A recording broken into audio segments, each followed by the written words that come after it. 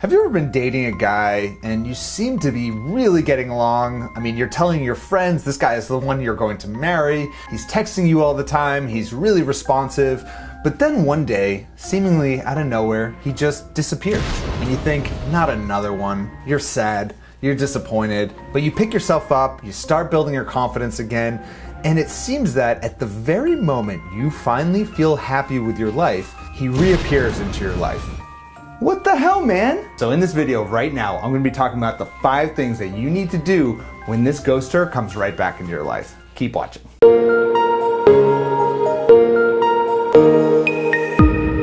Hey there, Adam Littleton from sexyconfidence.com where I help you create your love story. And if you are sick of ghosters coming in and out of your life, give this video a like. It really helps me out a lot and it's gonna give you some good luck moving forward in your love life. And also don't forget to subscribe to this video and click the bell for notifications because you're not gonna wanna miss a single video that we have coming out this year. We got a lot of good stuff. You don't wanna miss it. And just this past week, one of my Love Accelerator coaching clients asked this question and I wanted to answer it for all of you sexy single ladies. Hey Adam, I was in a committed relationship with a man for over two months. Out of nowhere, he ghosted me with no explanation. I was heartbroken.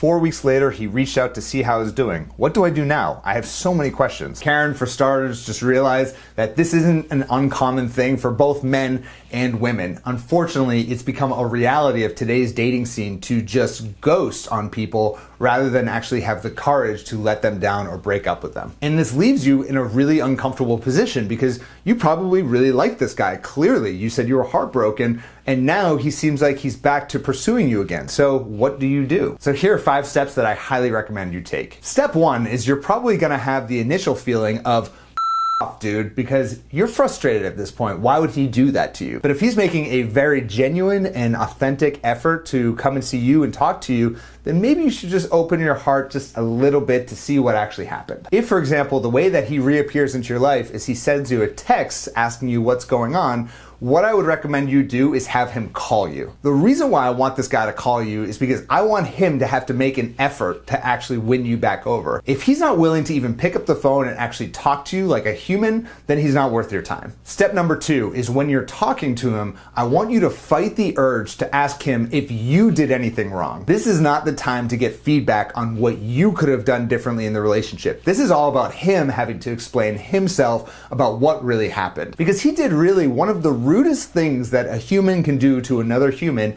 and that's going completely dark on that person. So he's got some explaining to do. Step three is for you to set really hard boundaries in your mind about the explanations you will not accept from him. If he's being at all vague about the reason why he disappeared, or he's just kind of saying, oh, it wasn't the right time in my life, or he won't give you any explanation, do not accept that as an explanation. He already screwed up once, he already ghosted on you, he already did something incredibly rude to you.